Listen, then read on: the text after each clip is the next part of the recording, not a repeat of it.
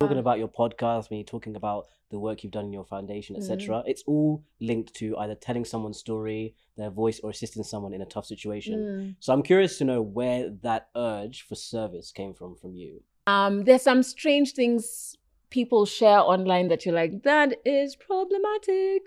What are you saying? yeah. Um, and so, or calling out bad behavior. It's weird how we'll say we always there's cliques of men, and you'll be like, yeah, this that's how this guy is. Mm. This guy is harassing me, and you're Yeah. telling me That's how it is. this is this is his normal Yeah. behavior. I think you've transcended from just using your audience and using your personality for, you know, um, obviously chasing bags, but also like to contribute positively to society. And that's Mm. something that we at Mantalk really want to also Mm. try and emulate. I want to know more about kind of how you've handled the question of sexual violence Mm. and Mm. even if it's like a cultural audit and i don't know this might get black but i'll just say no, i remember once being on when i was on kiss we had a conversation from a story where there was this kid in high school who had died Mm.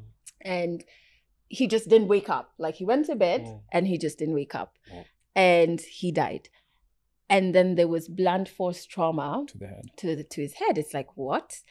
And he had just come back from the um, circumcision rite of passage, and then I was like, Connie, what happens? In the, remember me? Yeah. I'm a household of just girls. Right. Men don't understand these things. I've never had that conversation. I was like, Connie, what happens at those things? Like, why is Yeah. where is there blunt force trauma?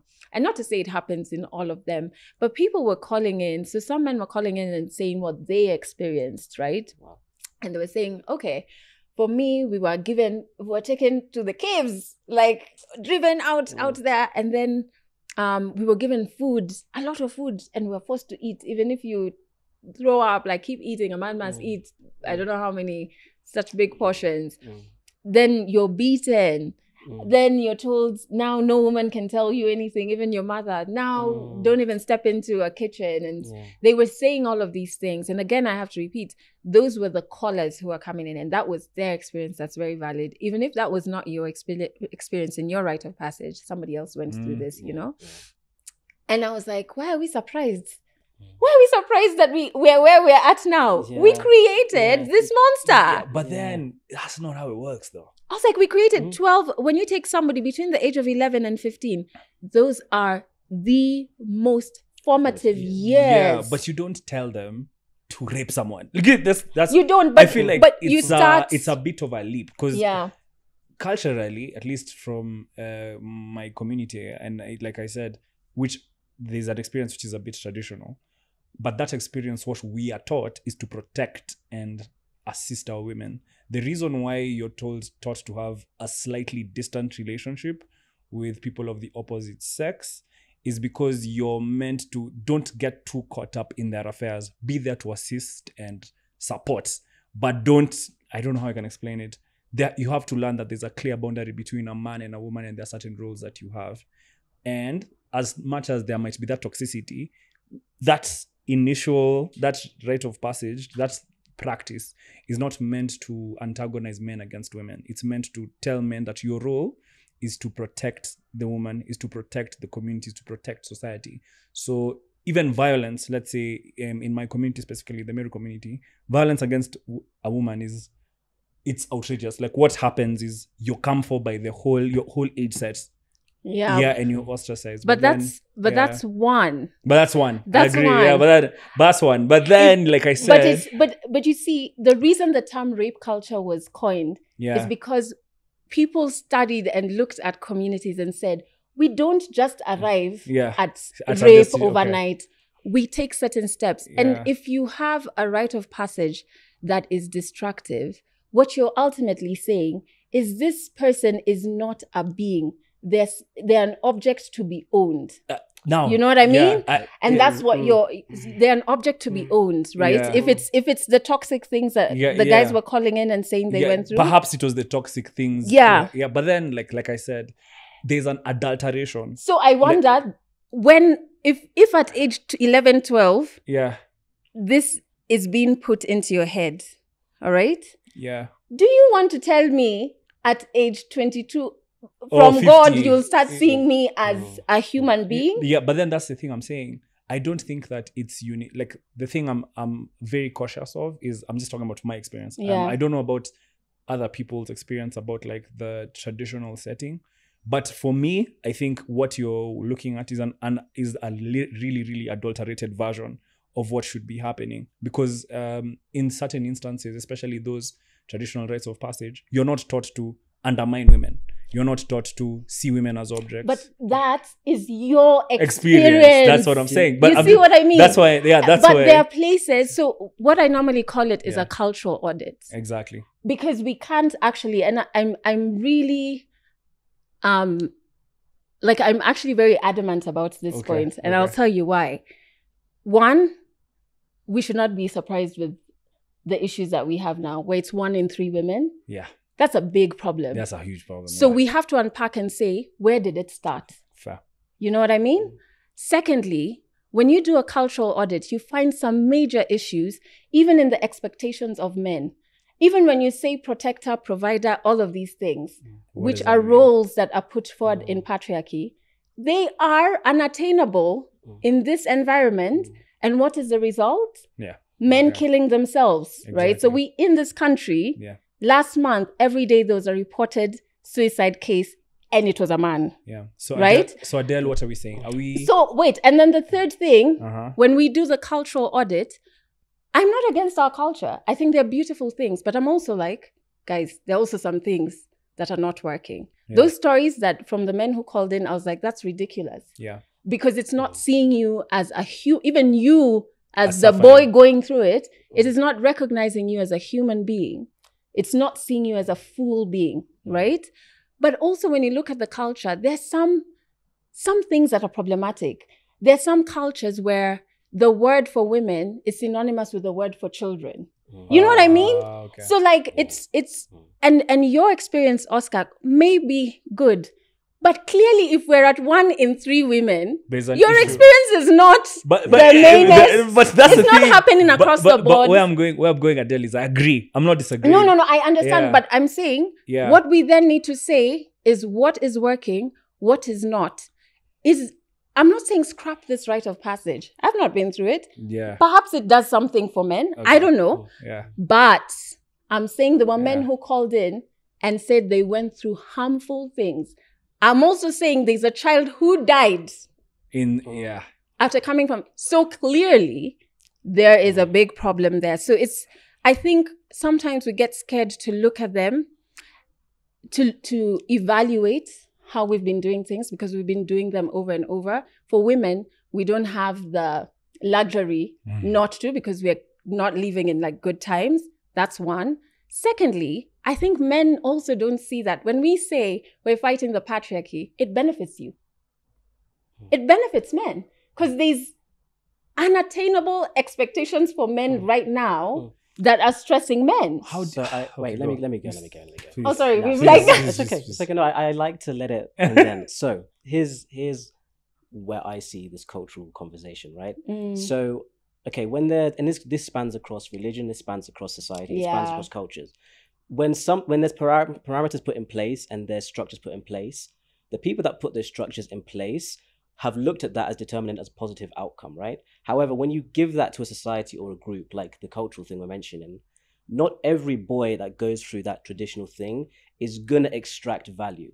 A lot of the Mm. time, that guy, the, the young boy, unfortunately died of trauma physically. Yeah. But a lot of guys carried trauma internally and carried on in life. and That's still how. going through it. Yeah. Right, exactly. So, as much as maybe in a scenario you're trying to give, like the, the Ameru community, we're trying to give them, you know, you're a man, you should be helping people. A lot of guys in that same environment will extract very different messages from that. They'll extract different Mm. experiences and you're going to have different results. So I think it's not very individualistic sometimes, and that's where the problems lie. Because you could have the purest intentions, but even the leaders that are now implementing this, Exactly. maybe them, they've got trauma and they've brought it into this practice and they're passing that on. So I feel like when you're trying to like inform young men, it can't be with a blanket uh, structure. Yeah. And even with that's why we have problems with religion. We don't talk about religion, but like a lot of the time it's because there's a blanket structure that doesn't allow for individuals to thrive within that structure. And when they don't, you question why and you're ostracized. And I like that you mm. talked on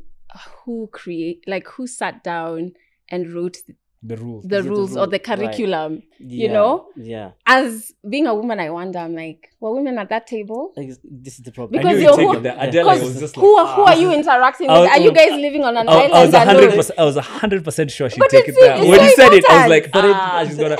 but this, it's there's a, there's a valid there's a valid point to it. Yeah, but I, I- feel like I when you're trying when you're trying to tell men like young men how to coexist with women, I don't think you can do that in a room without full of men. Without, yeah, but Like, wait, you see what I mean? Hold on, Mm. hold on. Okay, let's go. Because where you've taken it is Mm. we've taken it to the, the one of the most controversial places, which is Mhm.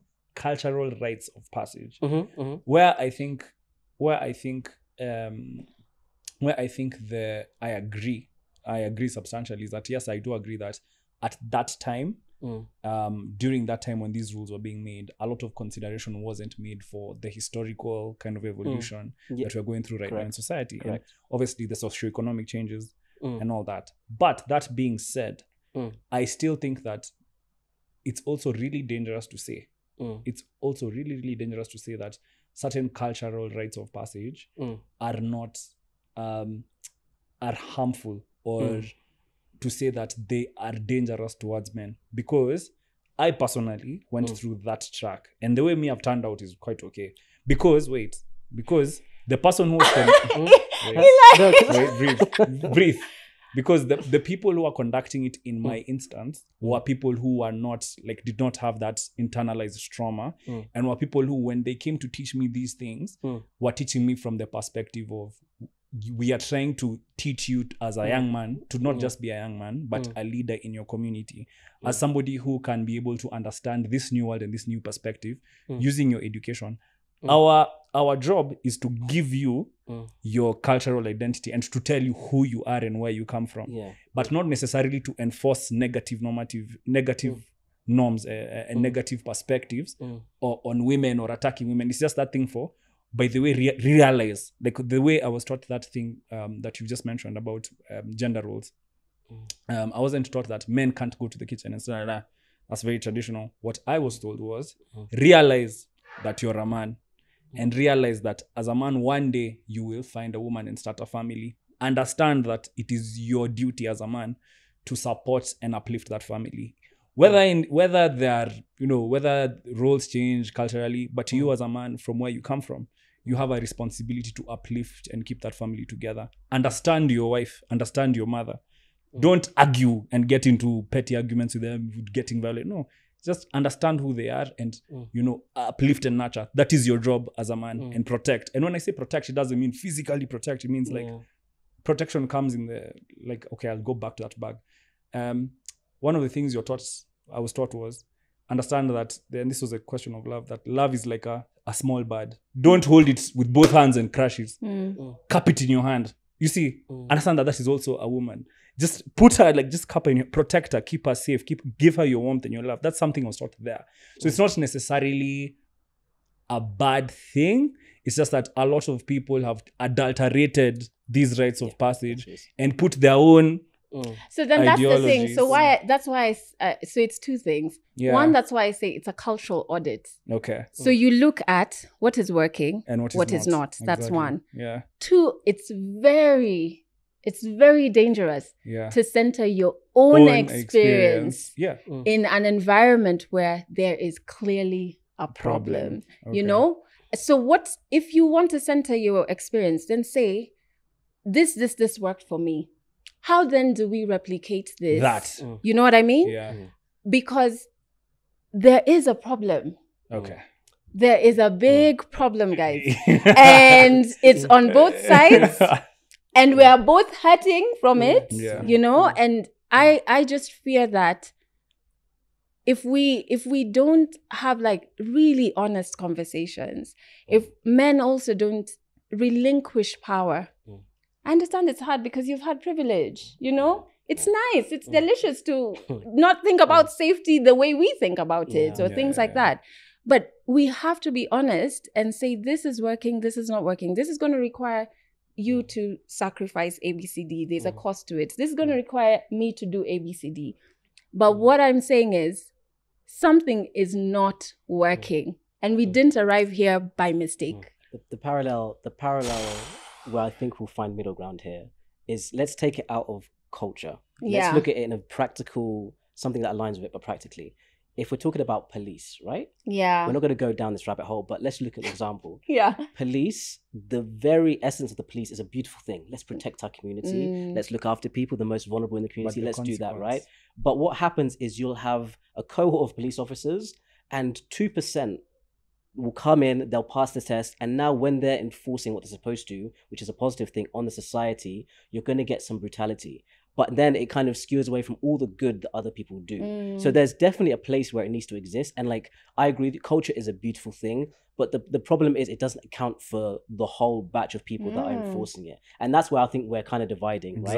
Because at the core, the basis was the bird, protect. But someone else won't have your amazing mindset to say this is a gentle thing. They'll look at it like this is my bird. They're Yeah. not looking at it as in like and they've probably gone through the same This nini with same you. thing. They were in that cohort. This is my this is, This is my bird. this is my they bird. I will cook it. I will Yeah. steam it. I will stew it. So, and I, I actually don't think we're on two different sides. Yeah. I think Yeah. if you can identify what has worked for you, Mm. How do you amplify it? Thank you. No, no, if- sh- shake my hand. I think now we are together. If, but Do if- not but discredit there it. still Needs No, to, do not- no, but, no, no, but, but there still needs to be a cultural audit because something is not Agreed. working. So what, yeah. So what, I, what I'd like to say as we move on. Eli is just What I'd like, no, no, no, ding, ding, ding, no. ding, ding. Round 10. Um, I'm a Libra. This is my role. Um, Turn on the freestyle.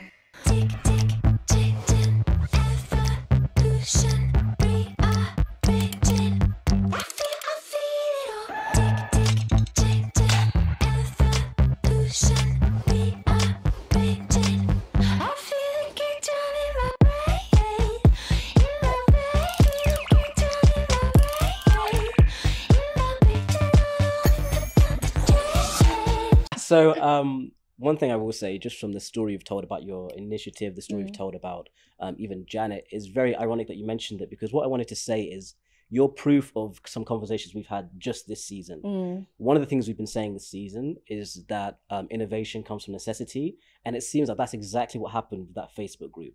So if people hear what we're saying and they're like, "We've not seen examples," this is a perfect example. yeah. Another thing that um, our mutual friend Janet said on our episode was that um, what is in your hand, like right now, to Yeah. make change. And she said, somebody, you're literally like a manifestation of this. Somebody somewhere is feeling hurt and there's something wrong in society. And if they manage to make a move just based on that small feeling and amplify that, other people will follow. And that's exactly what you've done. Mm. So to have you sat in the middle to tell us this is actually incredible to like be in front of someone that's a manifestation of that. Mm. So what I want to know with all of that in mind and all the progress you've made in this initiative and everything you're doing in society is what is the society that you're trying to create? How does that look for you? Oh my God. There was this Mm. tweet that went viral, right?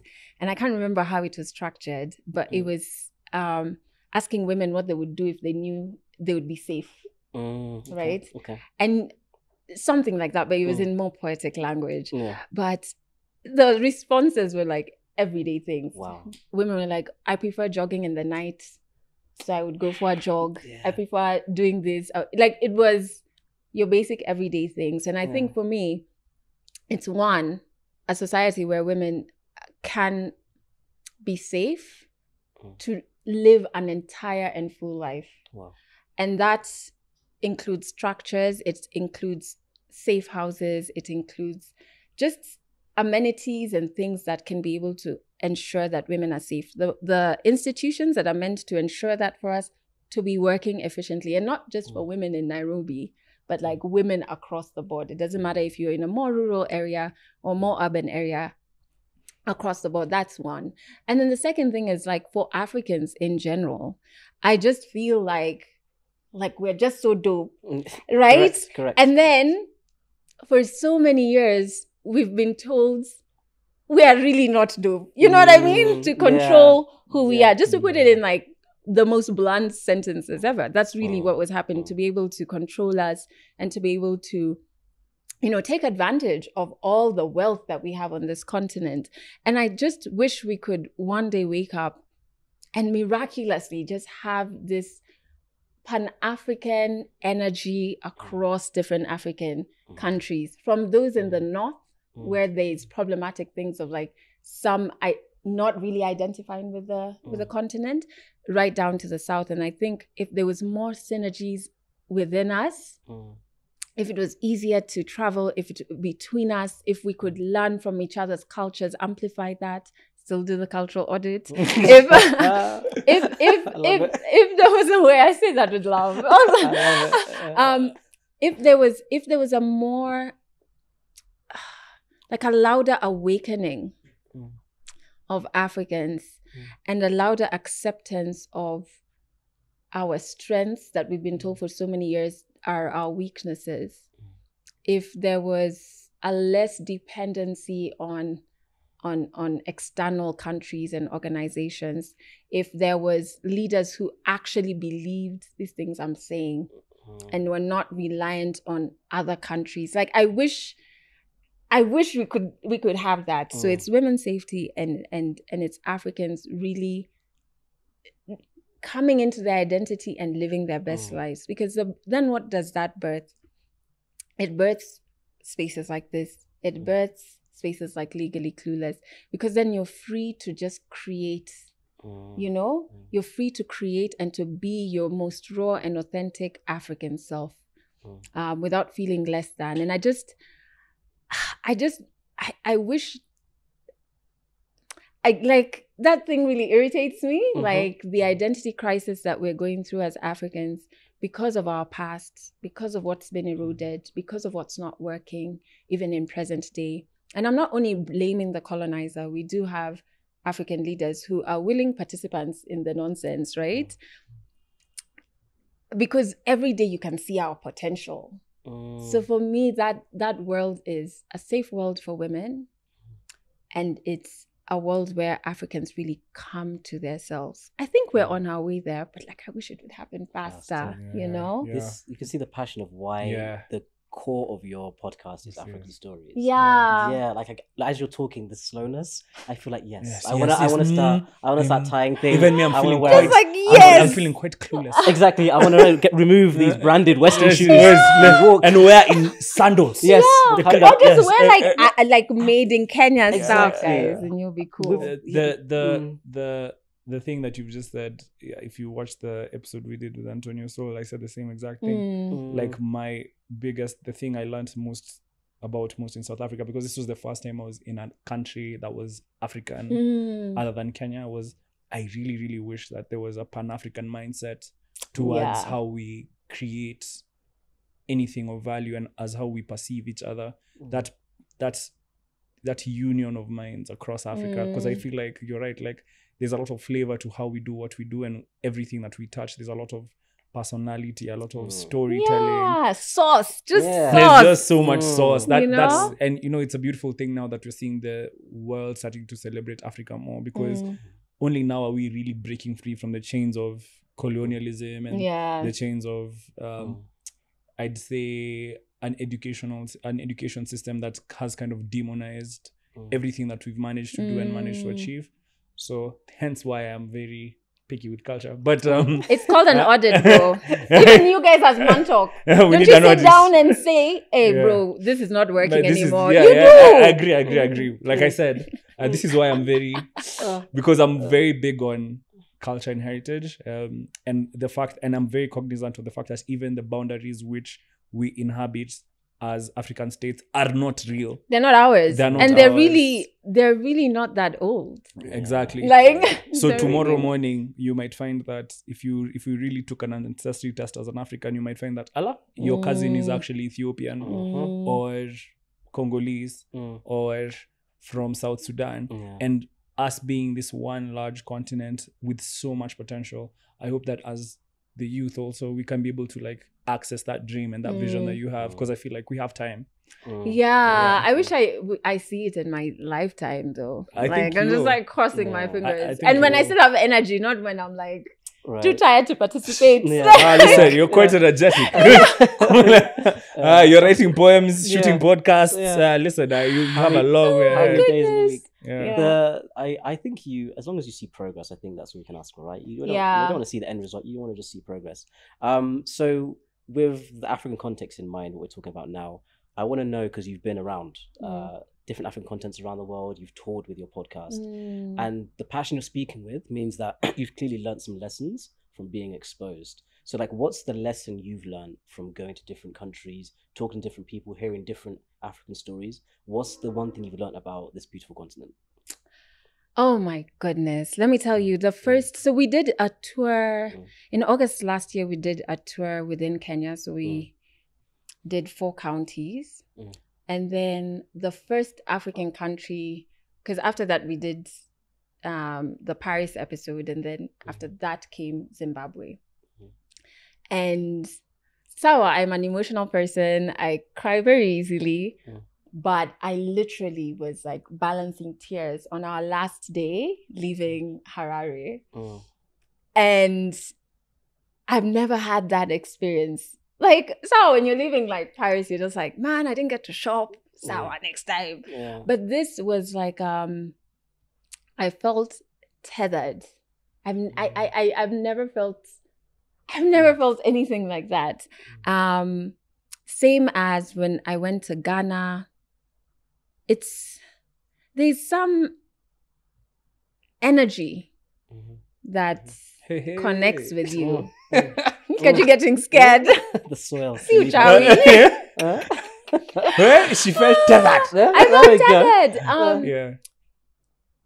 it was it was very um it was uniting in in in in it like i felt connected actually. And then also i felt guilt as Mm. an african. So like zimbabwe we read what has been said about zimbabwe in the papers and whatever and we believe that stuff. And most of the time it's like coming from like western news outlets or even ours that could be ignorant about certain things. And you go there and it's very different from what you've read. Yes are there economic issues? Of course but which i mean even us we are currently going through it economically. Yeah. um they've had their their past and yes there's political issues or whatever but which country doesn't have that across the board not only on the continent?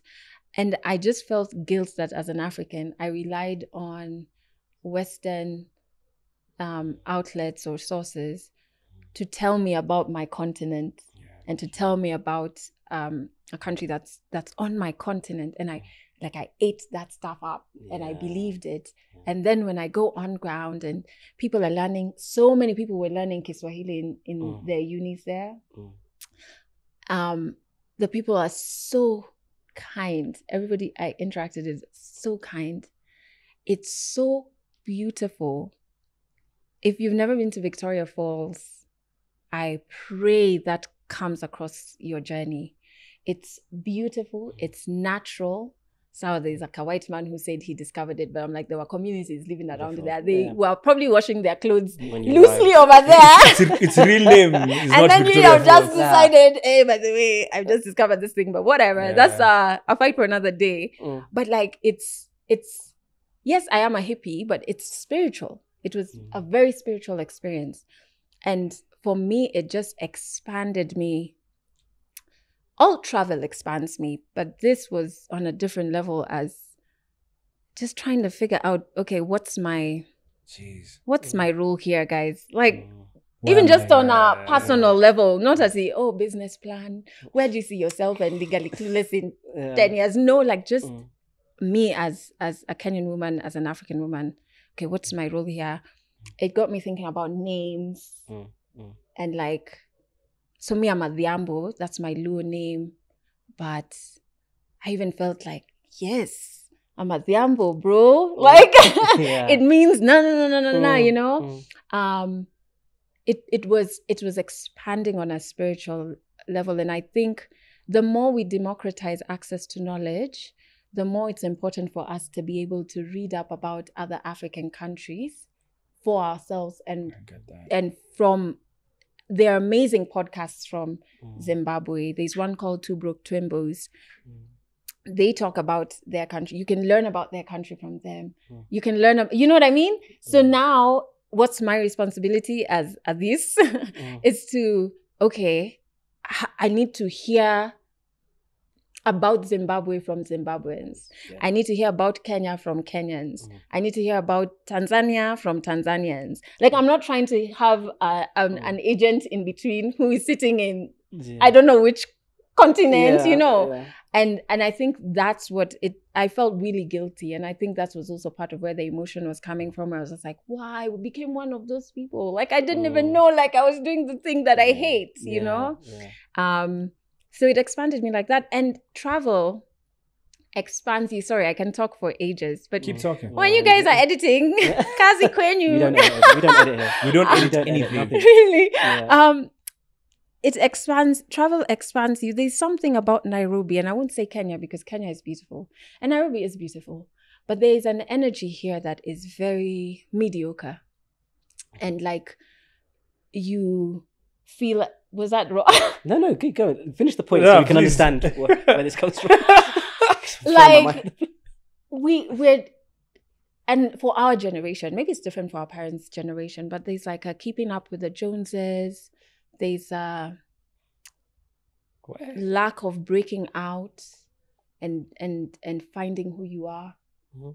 um mediocre in terms of like just getting by it's just vibes you know what i Mm. mean it's just Mm. it's just we're just Mm, we're just mm, existing Mm. we're just going through everyday routine Mm. and then we find things to fill up this routine with to look like this progress and mm, non-mediocre stuff but when you sit back you're just like are you really living a full life my friend or Right. what exactly is happening here mm, mm. and there's a lack of of drive and like ambition you know that Mm. raw ambition that doesn't even like you know the economy is difficult and running a business here is difficult but there's an ambition that is like still focused on like Mm, this is this is what i want to achieve this is what i want to do. Mm, i'm going to create this. Mm. you know what i mean?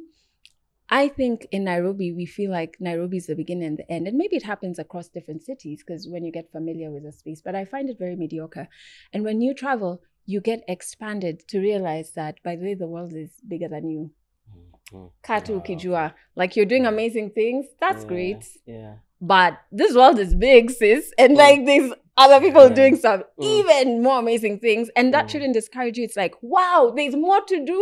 What? Yeah, Okay, let's go back home and re-strategize, or let's learn the skill or whatever. Mm, And that's what travel does to for me, um, which is what I love about it. It expands me. Mm. It's I I then stop settling for less from myself. Mm. And I understand that to honor myself, I have to keep expanding and I have to know there's a big world. There's so much life to live. There's so Mm. much to innovate. There's so much to do Mm. that I can't just, Yeah. you know what I Yeah, mean? hear you, I hear you. Yeah. that comes from that i hear what you're saying because i've lived in different places and going to live in another place after that you realize how small that last one was so i think even when you're saying that about nairobi it's from a place of love like guys there's more There's out more. there and i think yes i i'm actually with the sentiment of Yeah. even if you go out just outside it doesn't have to leave the country just go outside just explore more so i see i see what you're saying Which So is why it's like mm, Nairobi. Like, even when we went on the Mm. tour, Mm. even going to Kisumu, which is Mm. like on the Mm. way to my shags, my shags is like an Mm. hour from Kisumu in Mm. Ugenya. Mm. And like, Hey, where where Obama is from? yeah, man. Mm. Like, that's how us Yeah. guys are, Yeah. bro. Uh-huh. That's how we roll over really there. know, like he's so far from me. Yeah. Yeah. but like you understand, man, you're just like, why do we yeah what are we doing? Mm, what are we mm. really doing? Why are we not breaking out of the mold? Mm. Why are we really living a full life? And hey, maybe that routine is a full life for you. Who am I to to come in and tell you it's not? But Mm. I just feel like sometimes we just settle. Mm, mm. There's there's an energy of like it's the beginning and the end, and we just settle Mm. and we just settle. And man, life is not waiting. yeah, yeah. and it kind of goes to the answer you were giving where you're saying that the one thing that you learned basically i think is what, what you're saying is that um you were guilty you, you said you felt guilty for taking on the story that somebody else had given and there's an amazing ted talk called like the danger of one story i'm sure you're familiar yeah, that's yeah, the same i'm feeling when you're speaking now um so, yeah. so- hmm? Um, did you I've thought did, and I've did you- thought did you- and I've thought Hmm? about um what you said about tethering and also about having a perspective that is beyond that which is in your own city. Mm. And I had that same feeling, which was I knew and I told Eli about it. Like when we went to South Africa, I have never felt literally like because I've traveled a little bit as well. I've literally never felt a connection to a place Mm, as strongly as I felt mm, what was in Joburg. I felt like mm, someone in in my bloodstream mm. has walked these same roads before. Like Yeah. it's that African Yeah, yeah, magic. it- It's it's so I don't know what it is. Like Yeah. I felt that same thing even as I was like boy like I feel so connected to like South Africa. Like there's so much it felt like there's so much work Mm. that I feel like Mantalk might have to do there. I don't know how we're going to take it there, but like Mm. I might go maybe in a different capacity. But if it's through Mantalk, and I pray that it is, I really felt like the energy and the people were Mm. so Mm. like I can now go to Zim. I I'm really championing Yeah. for Zimbabwe. Yeah. Like next up, guys. yeah, like I want to Mantalk to tour Zim. Yeah, yeah, I feel like it's Speak off camera how to do that. Yeah, we'll Yeah. think of- yeah, because Yeah. like I felt that energy, and because like I was born and raised in Nairobi, Mm. I understand what you're saying in terms of sometimes um, you can be in a city that has a very big ego, and Mm. if you acquiesce yourself too much to that ego, you will find that you will not grow. Mm. Um, my friend Alex um, has an analogy that he used just before I went. He, he gave me this analogy, and I challenge anyone to check it out. Apparently, fleas um, can jump. I think. Nobody's going to check it out. We're not Yeah. going to sit with What? please, but No, no, continue. no, Just go ahead, Adele, please. Uh, Adele and kill now. This is one of like fleas. Yeah, yeah, like fleas. Apparently, fleas have Mm. a have a thirty. I think it's a it's like a it's a it's a two meter leaping height. Yeah. Yeah. Favorite analogy. Yeah, my favorite two analogy. meter leaping Yeah. height. Yeah. But if you put a flea in a jar for long Mm. enough, it'll believe that that's That's ho- two meters. That's that's like exactly how far it can jump. Those few centimeters. Wow. That's deep. Like if you release it, it'll still stay jumping, Yeah. jumping, jump, and it'll never get up to its maximum height. of what it used to be exactly able to do. what yeah. it's what it is Is actually able- capable of doing. Ah, So, like, As that's Ke- deep. yeah, as I'm going to use that, Alex. yeah, yeah, as Kenyans, like just get out of the jar and start to jump because you might find that you can leap slightly higher Mm. Mm. than kind of what this city is offering you. Mm. And I hope that like that Pan African perspective that you've come with and all of Yeah. your stories, which we can go on, guys, Mm, for years, mm. Yeah. which we'll probably do after the cameras run off. Mm. Um, I hope that guys can look at your life and kind of how you've transcended, you know, like such difficult challenges such as sexual violence, um, such difficult challenges such as like a tough youth, um, tough upbringing when you're younger, and you've really like every room you've walked in, and I told you, you bring such light. Oh, that is so Mm. kind. Yeah, like it's Correct. unbelievable, Adele. That It's is so unbelievable. First few minutes, guys, before we go, of me meeting Adele, she was sitting on a bench and she felt uncomfortable Actually, now I About- want to just about my, about sitting on that my bench. lack of Do you know what she did? Mr. Mr. Eli, do you know what she did? She realized, hey, this bench is not comfortable. Mm. This lady sat at the edge of, like, she stood up and sat at the Mm. table and Mm. looked at all of us like this. Uh-huh, tell me more. That is And just continued to be herself. Yeah. And, like, so Mm. man, just keep doing that. Don't like, tell that story. Like- I'm here looking like a uh, uh, Yeah. you know well-behaved lady. You are so like you are such a vibe and Mm. you have such beautiful energy and I Thank just pray you. that people take Mm. what you've shot here today and like Mm. learn as much and dissect it as much Mm. As they can and just learn from you. yeah, thank you. Mine, Yeah. mine is mine is just to say I think that's a perfect analogy of who you are as a person, Mm. leaving the bench and then going to sit where you want to sit, right? So, Yeah. Um, I've definitely felt that energy as well. Um, at the end, we normally tell the guests to give us something to recommend, but we're not going to do that today Mm. because I want to recommend them to go and watch Legally Clueless and listen. Oh, to Legally that is Clueless. so kind. Hundred percent, because then you understand where this mindset comes from, where this exposure comes from, because you've gone and done the work and brought the stories to them. Yeah. So I encourage everybody to go and watch That's so that. Yeah. kind. Um, but Adele, your time is very valuable. So thank you for sharing it with us. Thanks for having me. Yes, for sure. It was really great. Yes. Yeah. Caution, Yeah. uh, yellow, uh, if you're watching uh Uh-huh. Legally Clueless, wear shades. Yeah. yellow is everywhere. I was Yeah. told not to wear yellow today. I was like, damn it. Damn it. Yeah. So, Yeah. so Adele, just thank you for your time. Thanks for Uh, having me. And I yes. think thanks for like having the space to have this these conversations. Mm. Um, they can get heated, but they have to. They have to. You know what I mean? Brilliant. I love they it. have to get heated Yeah. for us to arrive on the other side together Mm. and and i genuinely feel like there has been a gap for men to see people who look like themselves speaking sense into their world. Mm. um and it's it's it's really necessary and valuable work that you're doing. So even in the times where it doesn't make sense like you're saying i want to go to south africa but i don't know how. The how is like project management. It's like it's very one plus one. Mm. you've already set an intent that you're going to do it. The how will just like kind of like you'll know what you need to do you know what i mean Yeah. but now you know hey that's where we're going and i even in the moments where it's not making sense like just keep going um things always eventually make sense and happen the way they're meant to happen yeah Thank you so much. Thank That's you so much. That, that we needed to hear that. Uh, guys, I really hope you've enjoyed this conversation as much as we've enjoyed having it. We'll see you next week on mantalk.ke. Bye bye. Adela. Nyango, ladies and oh gentlemen. dear